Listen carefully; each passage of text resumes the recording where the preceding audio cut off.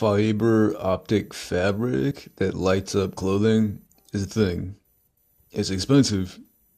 A hoodie might run up th- like $300. The technology is available, as seen with Lumigram by chief fashion designer for several houses in Paris, France. Jacqueline, Jacqueline. The fabric clothing is made of ultra thin optical fibers that are processed in order to allow light to be emitted along the length of the fibers. Embedded at the borders of the fabric are ultralight, ultra bright LEDs injecting light into the fabric.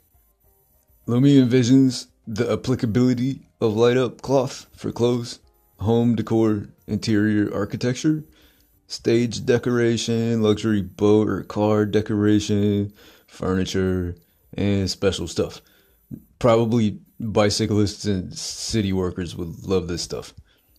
It'd make a good outfit to take the goth prom. Fashion designers are just getting started with fiber optic fabric DIY projects, do it yourself projects. Find some on Amazon or Alibaba or Zazzle. It's all there. The future fiber optic fabric light up clothes. Whoa.